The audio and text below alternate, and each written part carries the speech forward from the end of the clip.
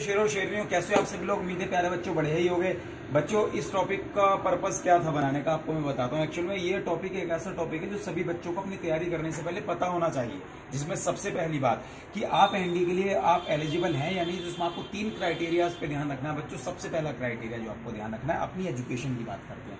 बच्चों एजुकेशन के लिए आपके पास अगर आप एयरफोर्स के लिए अप्लाई कर रहे हो तो आपके ट्वेल्थ में फिजिक्स प्लस मैथ्स होना कंपलसरी है। बाकी अगर आप नेवी या आर्मी के लिए जाते हो तो उसमें फिर कोई कंपल्सन जैसी चीज़ नहीं है दूसरी बात बच्चों, सबसे ज़रूरी बात एज लिमिट बच्चों 16 से साढ़े अट्ठारह या अप्रोक्सीमेटली 19 तक की एज में आप एलिजिबल होते हो तैयारी करने के लिए एनडीए की। इसके बाद बच्चों आती है अपनी फ़िज़िकल फिटनेस की बात। तो बच्चों, अगर मैं फ़िज़िकल फिटनेस की बात करूँ तो यहाँ पर आपको दो तीन बातें याद रखनी देखिए, कुछ रिजेक्शन परमानेंट होती हैं। उन चीज़ों पर आप लोग ध्यान रखिएगा।